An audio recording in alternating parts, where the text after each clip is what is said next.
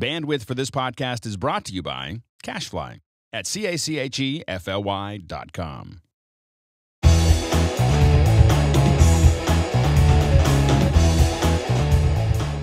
everyone, welcome back to MacBreak Studio. I'm Mark, got Steve with me, the usual suspects. We're talking about Final Cut Pro 10, and you're going to dig into um, something about auditions? Right. Uh, auditions are this unique Final Cut Pro 10 construct for previewing things without having to create a stack of tracks. Because that's what you needed to do. It. So you're talking about if you wanted to look at different options for a particular clip. Right. Let, us say you have a clip in the timeline and you want to experiment with different looks on that clip. Okay. You can actually put into an audition container and then try out different Right. different looks. Um, you might even want to use an audition for trying out different versions of an edit. Okay. And that's something that's that's new. And my friend Abba Shapiro brought this to my attention last time I saw him. And he showed this to me, and I go, "Wow, I didn't even think about using auditions this way, where you Ah. can actually make an edit and uh, different versions of a, of a clip um, to duration. Oh, so instead of, because usually I think of auditions of auditioning different clips. And instead of stacking them on top of each other and dis- enabling and disabling them, that would be in put a them on- track-based editor. You would do Yeah, that. you'd have to do that. But but you're talking about using auditions not to look at different clips, but look at the same clip. The same clip. Yes. The same clip. Y- Yeah. Okay. I well, should sh- just show, you. Yeah, Okay, show, so- show me. Yeah. Okay, so I guess before we get started, I should talk about what we're working on here. Uh, this is a short film that I shot over the holidays called Cupkake, and uh, it basically stars this well this this little Christmas obsessed girl. She's kind of into Christmas, but as as you go through the film, you, you realize that there's something just not quite right about her. Uh, she starts, you know, having you know conversations with inanimate objects and like like this uh, like this Nutcracker, and then you know she's uh, things happen in the kitchen, and she's talking to uh, talking to other you know inanimate objects like this elf. So. Don't want to give away the whole thing. They can go up to you go up to Vimeo or see Vimeo page and you can see Okay, and it's, it's cupcake, but it's C U P K A right, K E. Cupcake, Cupcake. exactly. Okay, and it's on the Ripple Training Vimeo page. Yeah, if you click the go to Ripple Training, click Vimeo, you'll see it up there. Oh, okay. You can get So right to it from Ripple Training. So let's talk, talk about um, how you'd use Audition here. No, this is a rough cut here. I've just everything is kind of laid in what what uh, we call fat. In other words, it's got a lot of handles. It's not tight. We're Yeah. we just kind of did a string out. Get a string, get a feel Exactly. for the flow of the thing. So I have this clip in. I'm just going to play a little bit of it, and just so you can see context. So she's um, in this in this scene. She's uh, noticing the Nutcracker making all this noise, and she wants to shut it up by put, putting in a gumdrops in its mouth. And by the time we get over here, um, you know the blender's going, and she's blaming an, another inanimate object. So I'll just play it from this point. Rack.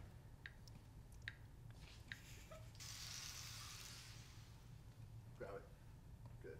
Now take off. That was pretty darn good. I want you. One, two, three, action.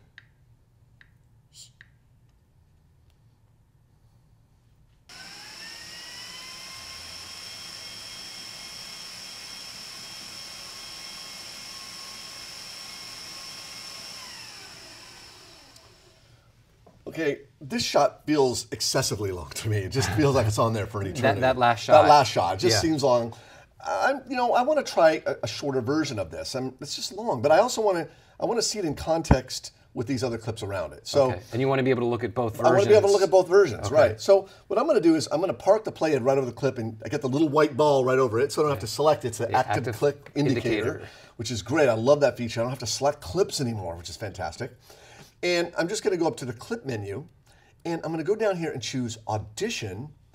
I'm going to choose Duplicate as Audition. So you're duplicating, making another copy of the exact same clip. The clip. exact same clip, and I'm going to put it Okay. into an audition container. So I'm going to do that, and immediately in the timeline, you will notice that there is a badge now indicating it's an audition yes, clip. the little audition badge right, there. Uh-huh. Now, if I click on that badge, it will open up a little window where I can see my two clips. Now, when I toggle, through, I'm using my arrow keys, left and right, and I'm just toggling. There's no change because it's the same, Same clip. There's nothing different about But it, right? here's what it gets interesting.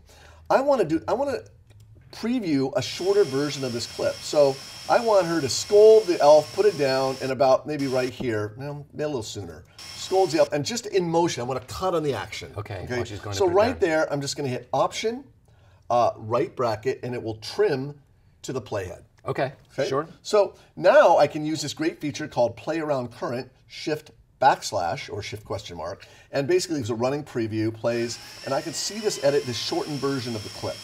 In context, In it's playing a little bit of the clip before and, And a little bit of the clip after. Right, great, nice. Okay. Now, okay, great, it's going to keep looping, but I have also that other longer clip. So if I click the badge, Yep. I want to see the longer. I'm just going to toggle my left arrow, do that, and boom. Notice, notice the duration changes. Yep, and it's because of the magnetic timeline, it just pushes, pushes everything, everything, down. Mm-hmm. right. So I just go ahead and do that, click done, and I can play this back just like I did the other one. But there's an actually a faster way to do this. Okay.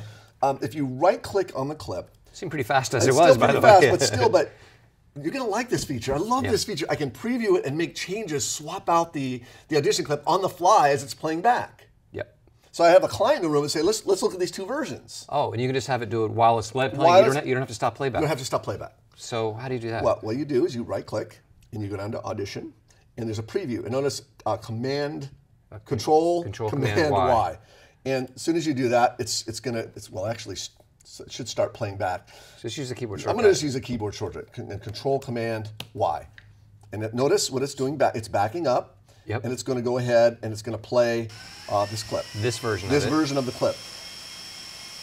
and this is the longer And this version. is the longer version, Okay. right? Now, if I want to see the shorter version of the clip, all I have to do, tap the right arrow. Oh, okay. And it switched right to that other angle. switched- uh, not, not other angle. It's not multicam editing. Right. It's sort of, you know, but it's two two different auditions. So you can live while it's playing back. I'm doing it right now. I just switched back to the longer version of the same clip. Okay.